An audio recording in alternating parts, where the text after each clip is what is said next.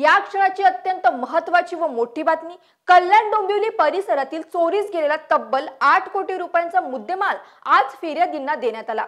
सविस्तर वृत्त असे की पोलीस सह आयुक्त ठाणे शहर यांच्या अध्यक्षतेखाली परिमंडळ तीन मधील कल्याण व डोंबिवली परिसरातील सुमारे आठ कोटी रुपयांचा मुद्देमाल फिर्यादी यांना हस्त हस्तांतरित करण्याचा कार्यक्रम आज दुपारी डोंबिवली जिमखाना येथे आयोजित करण्यात आला होता. यावेळी पोलीस अधिकाऱ्यांनी काय माहिती दिली बघूयात आपण. सोळा जानेवारी तेवीस रोजी महाराष्ट्र पोलीस वर्धापन दिनाच्या साधून कल्याण पूर्व प्रादेशिक विभागामध्ये ज्या ज्या गुन्ह्यामध्ये मुद्देमाल रिकवर केला गेला त्याचं मुद्देमाल हस्तांतरणाचा कार्यक्रम आज additional C P Shri Datta Shinde आणि D C P Sachin Gunjal यांनी आयोजित केला होता.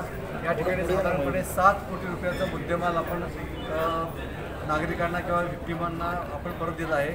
यामध्ये रोख रुपये आहेत दागदागिने आहेत वाहनं आहेत अशा वेगवेगळ्या प्रकारचा अनेक गुन्ह्यामधील साधारणपणे सात कोटीपेक्षा जास्त रुपयाचा मुद्देमाल. त्यामध्ये चोरी आहे जबरी चोरी आहे वाहन चोरी आहे अशा सर्व प्रकारच्या गुन्ह्याचा मुद्देमाल आपण परत केला आहे. आणि त्यामुळे नागरिकांनी एक प्रकारचं समाधान व्यक्त केलं आहे.